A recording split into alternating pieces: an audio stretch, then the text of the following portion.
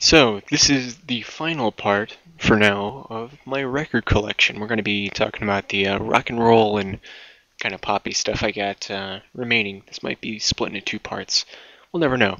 But first, we got, well, really there's no order to these either, but uh, here's Rush 2112. Um, I really like the A side to this. The rest of it's kind of strange, and I'm not really into it. Uh, Boston 1, uh, fastest selling album of its time. Uh, my copy is very well loved, as you can tell by the uh, ring wear, although I wasn't necessarily the one who loved it this much. Uh, it's uh, it's a pretty good album, considering that it's the same exact song over and over and over again. It's kind of how Boston is, though. Next up, we got uh, the only Doors record that I have. Strangely, is supposedly one of the rare ones, according to a Doors fanatic friend of mine. 13 isn't necessarily an album. It's a greatest hits collection. Doesn't actually have my favorite song though. Uh, Riders on the Storm. I was kind of disappointed. L.A. Woman was the uh, album with Riders on the Storm. Came out a year later. Um, here is the Blue Oyster Cult. Some Enchanted Evening. It's a live album. It's got uh, Don't Fear the Reaper. As you could probably guess, um, I kind of accidentally bought that, not knowing that it was a live album. Here is Electric Light Orchestra out of the blue, and also here is Electric Light Orchestra out of the blue. The reason I have two of these is this copy I bought originally only has one album. As you can tell, it's missing one. So I had to buy another one just to get the first album, which uh, kind of disappointing. Next up, we got Boston Number Two, which is same deal with Boston Number One. Same song over and over again. Still a good song though. Got uh, Blondie Parallel Lines. It's got uh, Heart of Glass and um, what? Uh, one way or another. Yeah, uh, I'm a fan of Heart of Glass, but uh, the rest of this is kind of hmm, mysterious for me, I guess. Um, this one looks mysterious also. Uh, this is The Wall by Pink Floyd. The only actual Pink Floyd album that I own, strangely. Um, might have to edit out that last part because I didn't realize the inside of that album has that kind of stuff. I forgot it. Well, I realized it a long time ago, but whatever. Here is uh, uh, Michael Jackson's "Off the Wall." Um, I had this hanging up in a college dorm room, and we uh, took a big Jason Voorhees hockey mask and placed it over Michael Jackson's face, which was uh, quite amusing, if I do say so myself. Um, we got uh, Breakfast in America, I think it's called Supertramp. Uh, yeah, Breakfast in America. It's got what does it have? Um, Goodbye Stranger. That's what I was looking for. It's also got uh, the Logical song, which is a favorite of my mother's, I believe. But uh, I guess that's another story for another day. Uh, Led Zeppelin 2. Strangely, this is the only Led Zeppelin album I can find for a decent price. Um, I actually got this for free. Um, in addition to it being free, it also came with a free comb on the inside, a free camera lens cap, and I don't know why I'm putting it on this blanket, but uh, a free like rat's nest looking bug thing. Uh, it was kind of disgusting on the inside. Cleaned it out though. Uh, this is, I think it's one of the rarer ones that I own. Wipeout, the Surfaris, the uh, original uh, with Surfer Joe. Uh, it's kind of hard to, well, it's definitely hard to find this one, but I paid probably more than I should have for that. Probably way less than most people would pay for it though. Uh, this is the best of the animals. Really, I've been looking for House of the Rising Sun for a long time, and uh, it's too bad this is torn. Then again, I don't really want to look at Charles Chandler, do I? I don't know. Um, yeah. Don't let me be misunderstood. I've heard that song before. I can't remember it though.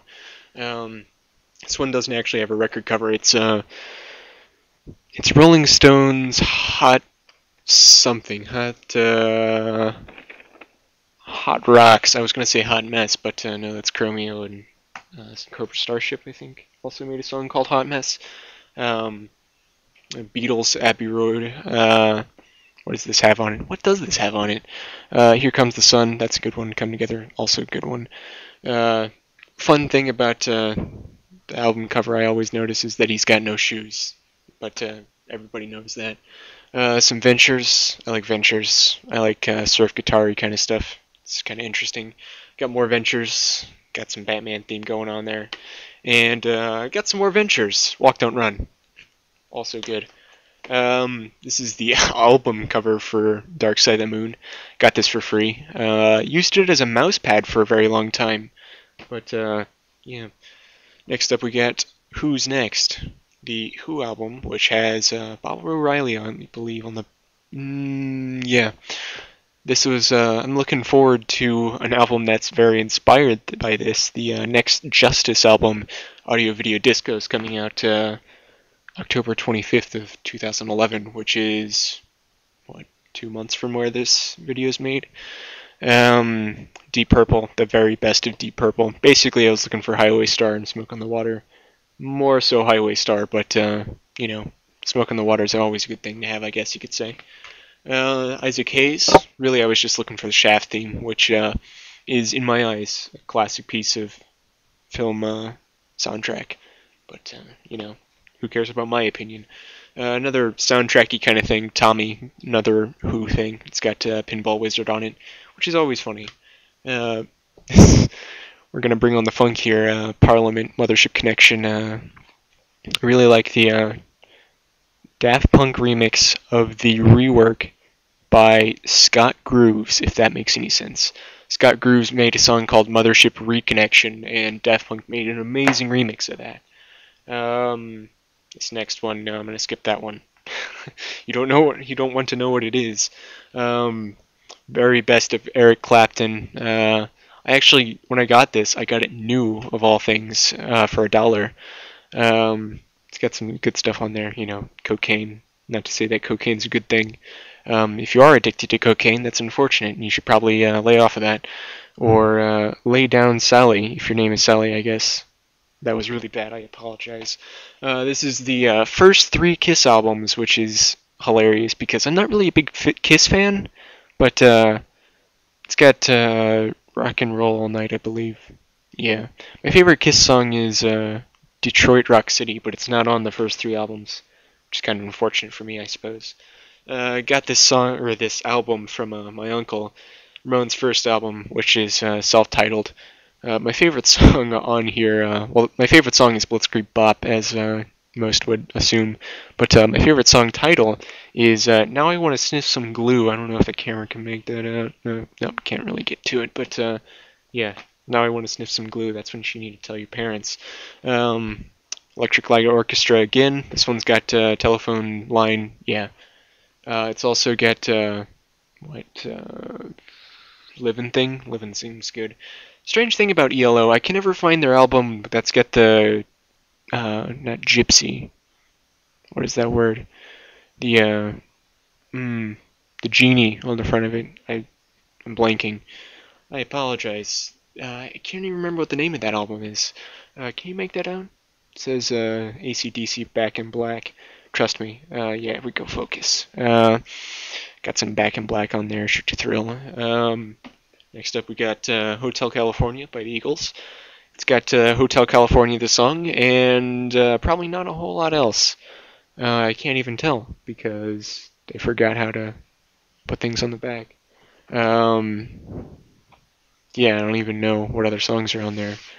Uh, Wasted Time, Reprise, Victim of Love.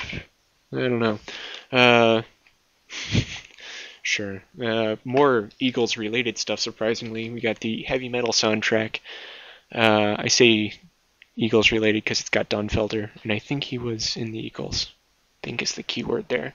Uh, but yeah, heavy metal is pretty cool. Um, a lot of people recognize this one probably. They probably don't recognize the album because nobody that uh, has heard this song in the last four years has even picked up vinyl in their entire lifetime. Uh, I'm referring to the song Don't Stop Believin'. It was a decent song. It still is a decent song. It's just, it has become the anthem of uh, everybody that's graduated between the years of like 2008 and 2012, which is kind of unfortunate for uh, classic rock fans out there because this is the classic rock song now, which is unfortunate because classic rock really is a great genre it doesn't make any sense. Uh, more Rush, Moving Pictures. Uh, this has Tom Sawyer on it. Um, I think this survived a flood. That's why it looks like that. Um, more Eagles stuff. Yeah, Don Henley. I said it was Eagles. Uh, Building the Perfect Beast. This has Sunset Grill and Boys of Summer, I believe. I really prefer Boys of Summer. I really like the uh, drums on it at the very beginning. It's really cool. Um, Michael Jackson's Thriller. Uh, this is another one where we superimpose the Jason mask over uh, Michael's face. Uh, this album was very well loved, and uh, I can barely even get it to play. This is some weird 80s uh, song collection. It's got some Billy Idol and Flock of Seagulls and Duran Duran. Um, yeah, it's got some interesting new wavy stuff on it, I suppose. Uh, Judas Priest, Screaming for Vengeance. Uh, I got this just because, well, the album cover is cool, but I don't know. Screaming for Vengeance is a. I really hadn't heard it to tell you the truth before I bought the album, but uh, I don't regret my purchase, if that makes any sense. Um, got uh, Daryl Hall and John Oates voices. I say Daryl Hall and John Oates, but everybody just knows him as Hall and Oates. I bought this for uh, "You Make My Dreams Come True." Uh, really like their style, probably because uh, I like Chromeo a whole lot. Um, yeah, whatever. This is a weird thing that I got uh, the Duran Duran Their Story book thing that was written uh, at the time, I believe, that uh, Rio came out. Rio also has uh, uh, Hungry Like the Wolf, which is good. And I also got uh, Seven and the Ragged Tiger. Rage Tiger? Ragged. Rage. Okay, something like that. Anyways, this has. What does this have? Two Tribes Go to War? No, it's got the Reflex. Um, another new wavy kind of thing I got. Uh, this is the only 7 inch record I own. Uh, the Safety Dance. Uh, you know, how can you go wrong with the safety dance, right? I mean, without hats, something like that. Uh, more new wave. Uh, we got Devo's Freedom of Choice. Um, Spanish copy of all things. Uh, yeah, it says uh, Hecho in Mexico. Probably make made in Mexico. Um, I'm not really too familiar with Devo, but uh, I always like the Bob One and Bob Two, and Bob Two's over there for some reason. Um, yeah, next up we got uh, a whole load of stuff. We got Billy Idol's debut EP uh, titled "Don't Stop." It's got uh, I don't even know it. It's got Mony on it. Yeah, and Dancing with Myself, the long version, which is good. Got uh, the single of White Wedding, which is probably my favorite Billy Idol song. Uh, got the album with White Wedding on it, which is his first album, and I got his second album, Rebel Yell. So uh, yeah, lots of Billy Idol and uh, I guess more 80s rock stuff. We got uh, Scorpions Love at First Sting. Uh, yeah, probably should have covered up that album, but whatever. Um, real life, Send Me an Angel. I got this because of the movie The Wizard. If you've never seen The Wizard, you need to uh, go check that out. It's an amazing uh, Nintendo commercial, basically. Uh, David Bowie, uh, Let's Dance. I don't even know where to start with David Bowie. Uh, literally, because there are so many David Bowie albums, it's crazy. Like, how many? I don't even know. Why am I asking you? There's like so many albums, just look it up on Wikipedia. This is like the 30th or something stupid. I don't know. It's got some good songs on it.